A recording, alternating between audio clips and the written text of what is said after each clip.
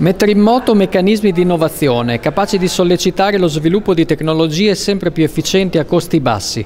Potrebbero incentivare l'espansione della domanda? Eh, direi senz'altro di sì, è un discorso questo che ha validità del tutto generale, ogni volta che c'è innovazione il mercato è predisposto a raccogliere le innovazioni, tant'è che molto spesso le innovazioni vengono anche centellinate proprio per consentire al mercato di recepirle. Questo è vero anche nella geotermia, anche nella geotermia eh, ci sono stati negli, anni, negli ultimi anni molti eh, progressi tecnologici, eh, però non sono sufficienti a mio giudizio anche perché e questo lo dimostra che all'estero è molto più diffusa la geotermia a bassa entalpia di quanto non sia in Italia. Probabilmente eh, sono necessari anche alcuni interventi di carattere di sostegno, ecco, di sostegno anche finanziario, in quanto eh, nelle ristrutturazioni, eh, nelle ristrutturazioni abbiamo, sono previsti degli